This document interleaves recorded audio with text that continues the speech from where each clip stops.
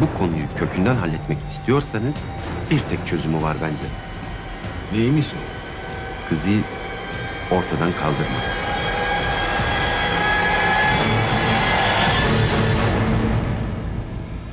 Oy kullanan pişman olur.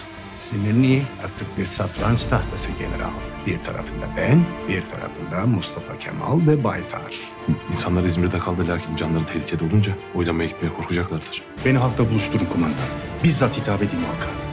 Madem ki vatanı müdafaa etmek farzı aynıdır, o halde düşmanın kuvvet namına neleri varsa hiçbirinden korkmadan üstüne gitmek de farzı aynıdır. Radyo telsizimiz yayın için hazır ve nazırdır. Başlayabiliriz Akif Bey. Korkma. Vatanım Sensin yeni bölümüyle Perşembe akşamı Kanal D'de.